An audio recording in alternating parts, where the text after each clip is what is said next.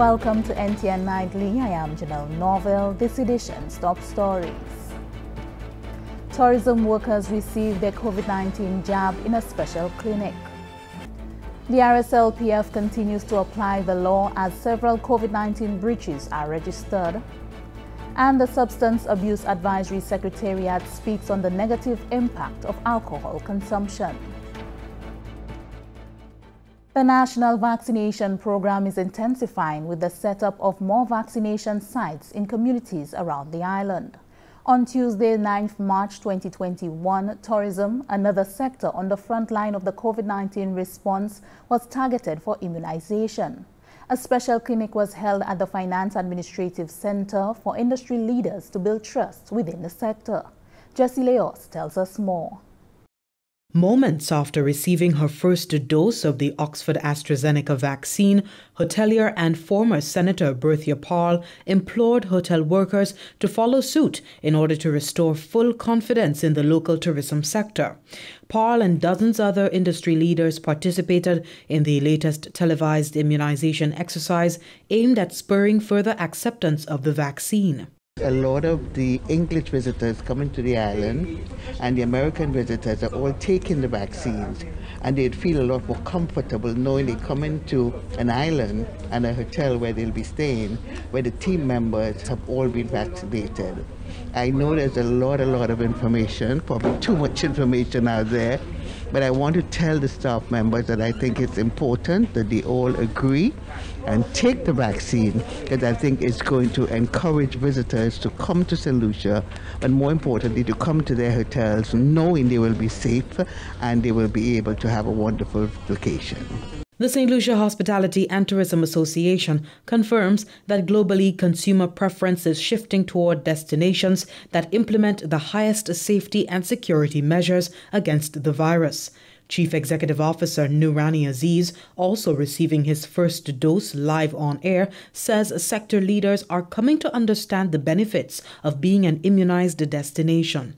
Having the vaccine, having our team members inoculated, not only provides safety for us, but also lends itself to a level of consumer confidence in coming to the destination and, and, and availing themselves of what it is we have to offer. So from an economic standpoint, there's no doubt that it does have value in terms of our competitive positioning. Mm-hmm. But more important than that is the health and safety of ourselves and our loved ones by availing ourselves of the vaccine and, and being inoculated. Donalyn Vitte, Permanent Secretary in the Ministry of Tourism, marked the significance of the vaccination exercise following months of displacement in the sector caused by the pandemic. We have the boat operators, the taxi drivers, those persons from the cruise industry, the accommodation sector. We have the vendors. We, I mean, you name it. We have all facets within the tourism industry. And the purpose here this morning is to represent each sector and have each person come and sort of motivate and give their own personal testimony because we're really hearing from even those who got inoculated this morning that they too had their perceptions, but once they were able to get the information and bona fide information, that that has changed their mind and they here today to get their vaccine and they could talk about it. So it's really, really a crowning moment for us in the tourism industry. The National COVID 19 Vaccine Campaign Special Clinic for Tourism Industry Leaders was held on Tuesday, March 9th at the Finance Administrative Center in Pointe Seraphine, Castries. For the Government Information Service, I am Jessie Leonce reporting. More than 6,000 St. Lucians have now received the AstraZeneca vaccine, and that number is increasing daily. Health officials say rolling out the vaccination campaign with frontliners and leaders helped quell public apprehension about the vaccine. Here's Daniel Dubois. The government of St. Lucia has been leading by example with St. Lucia's COVID-19 vaccine rollout. As the Ministry of Health seeks to build confidence and trust in the process, the Prime Minister and Cabinet of Ministers have helped the effort. Prime Minister Honorable Allen Chastanet received his first dose of the AstraZeneca vaccine on March 17, 2021, at a live event on the National Television Network, along with Minister of Health and Wellness Mary Isaac, Chief Medical Officer Sharon Belmar George, and Principal Nursing Officer Julieta Cassius. Local physicians, as well as members of the Royal St. Lucia Police Force and the fire service also received the vaccine that day. Several ministers of cabinet have followed suit by receiving the vaccine in their communities, taking part in outreach activities, and documenting the process. Um, so it's really, really good. I'm happy that I did. I came here um, in this facility where dozens of my constituents have actually shown up this morning and all through the course of today to be able to take theirs. So I'm very, very pleased with what I've seen and a lot of the elderly folks and people with underlying conditions have actually had the opportunity to be able to do so. So this is really good. It's a game changer in the COVID fight, and it's absolutely fantastic. The response has been overwhelming. The reports we have received from other centers uh, today and all through the week have been uh, extremely phenomenal, and that is just something that is going to be a great inspiration to our COVID fight. So it really is a, a great beginning. All those who organized the event today. I think they have demonstrated a passion and a willingness to assisting us in combating this COVID virus. Thank you again to all those who turn out in large numbers. Only two weeks into the rollout, over 6,000 St. Lucians have already received the vaccine, illustrating that confidence is growing as St. Lucia continues the path to herd immunity and managing the pandemic. Look, I'm very excited. Obviously, the you can see the relationship that the health centers have with the communities. We've had um, almost 100 people, uh, and we have not even gotten into the, half, the afternoon as, uh, as yet. So the response has been very positive in taking the vaccine and the, the level of enthusiasm.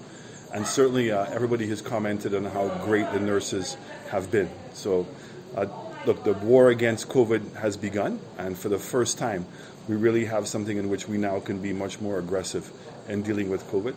And I'm really hoping that all solutions will follow suit of what we've seen today and coming out and, and becoming vac- vaccinated.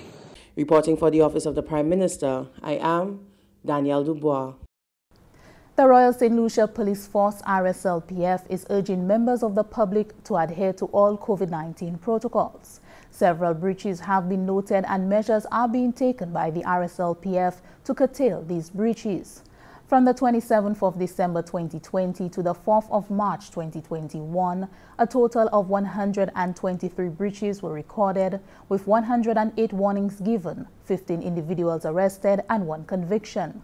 12 home quarantine breaches were noted, with 10 of these individuals being escorted by police to a government quarantine facility, and the other two individuals were escorted to a government facility after being cleared by medical professionals. Superintendent of Police Mashama Sealy has a further breakdown. Minibus travel breaches, there were a total of 161, and 161 warnings were given individual protocol breaches, that is failing to wear a mask. There were 684 breaches. 79 individuals were arrested. Of the 79 individuals arrested, 30 so far have been convicted and fined from $200 to $500. And one person was given 40 hours community service.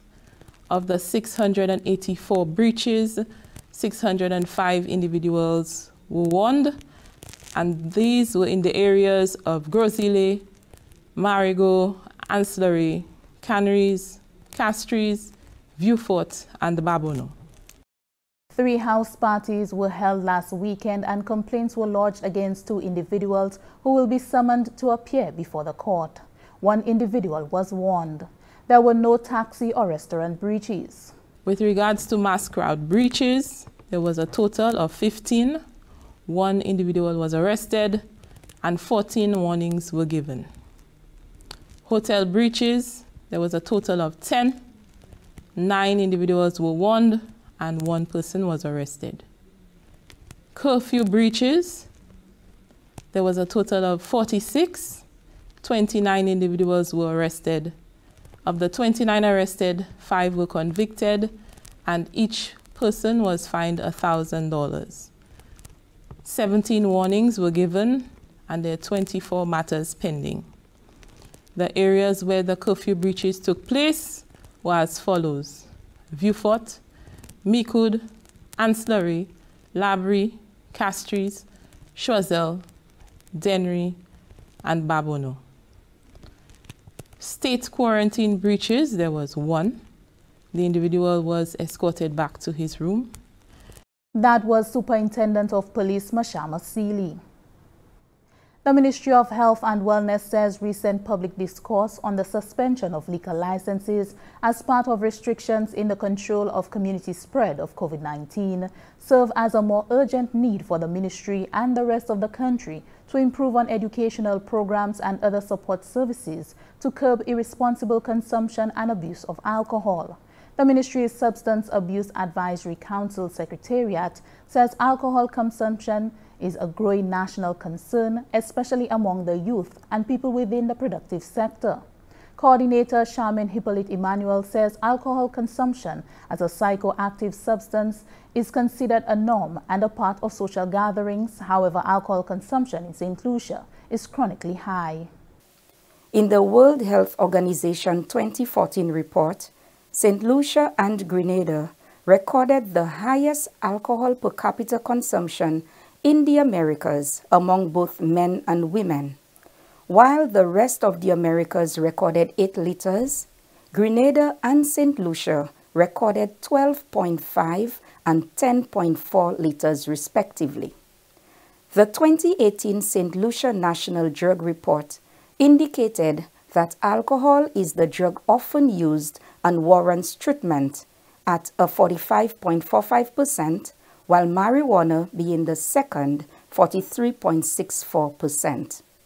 The abuse and misuse of alcohol has negative impacts on the health of the population among both males and females, including but not limited to liver cirrhosis, motor vehicular accidents and injuries, cancer, mental and neurological disorders, and fetal alcohol spectrum disorders. Mrs. Hippolyte Emmanuel says people seem to think that alcohol takes away their stresses and makes them happy. While many may see the use and misuse of alcohol as a social activity, it is crucial to note its impact on individuals, families, and communities. It is important to note, too, that alcohol, or any other substance for that matter, should not be used as a means to solve challenges or address problems. The abuse and misuse of alcohol are likely to create more challenges, including domestic violence, child abuse and maltreatment, poor mental health, a weakened immune system, and other financial implications. While alcohol is seen as a means of earning an income or livelihood, license holders must take responsibility for their engagements as per the stipulations from a business point of view. Similarly, consumers must adhere to the stipulated laws, likewise exercise responsibility with their alcohol intake. Mrs. Hippolyte Emmanuel reminds that alcohol does not solve problems. It weakens the immune system, placing increased burdens of disease and injury on the body. The Replast OECS pilot plastic recycling project is keeping up steam with other communities taking cue from Gros Islet. Jesse Leonce reports. The Gros Constituency Council has earned commendations from Gros Parliamentary Representative Honorable Lenard Montoute for the Council's effective mobilization in leading off with community operated replast collection points in St. Lucia. On Saturday, February 27th, when the Gros constituency successfully mobilized its second plastic collection operation under the Replast OECS pilot plastic recycling project, Minister Montoute was one of the several visitors to Collection Point. First of all, as a Isletan, as parliamentary representative for Islet, I'm indeed proud of the Islet community having taken the lead in this uh, exercise here. I'm hoping that we will, you know, set the pace and serve as a model for other communities because it is very important that as a country we recognize, you know, the detrimental negative effects of, you know, littering, especially when it comes to plastics. Honorable Montoute expressed the hope that other constituency councils will follow Gros lead and participate in upscaling community organized plastic collection and divert plastic waste from the environment. And at the same time, you know, and um, an accessory kind of benefit, to, so to speak, is the economic value for some who will be part of this this exercise will be bringing in their plastics and getting some return. And if I speak here now as Minister of Local Government, I would like to see other communities, the constituency councils in those communities, take the lead in encouraging their communities to participate in a program like this. While at the collection point, the minister availed himself of the opportunity to observe the various aspects of the operation and register with the program for a Replast Rewards card. A total of 961 pounds of PET and HDPE plastic from beverage containers alone was generated from last Saturday's RCP operation next to the Aquatic Center at Rodney Bay. This brings the total number collected after two days of collection to 1,936 pounds of plastic collected. The Gros Constituency Council will be operating three replast collection points in total. A Moshi and Grand Riviere collection point is expected to open this month. A cohort of 35 trained volunteers so far are supporting the Constituency Council in this effort. The Laborie Development Foundation was next in line to commence their collection. That activity was held at the Foundation's premises at Citrus Grove on Saturday, March 6, 2021. For the Government Information Service, I am Jessie Leonce reporting. This is NTN Nightly. Up next, Primus Hutchinson with the NTN Nouvelle, A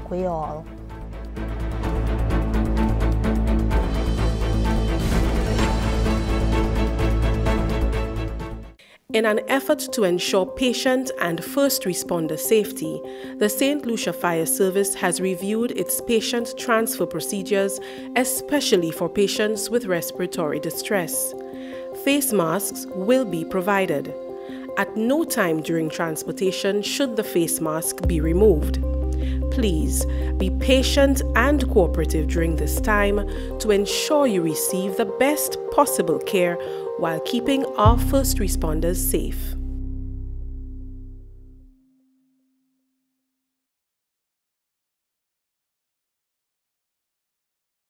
Welcome back. We join Primus Hutchinson for the NTN Nouvelle, A Creole.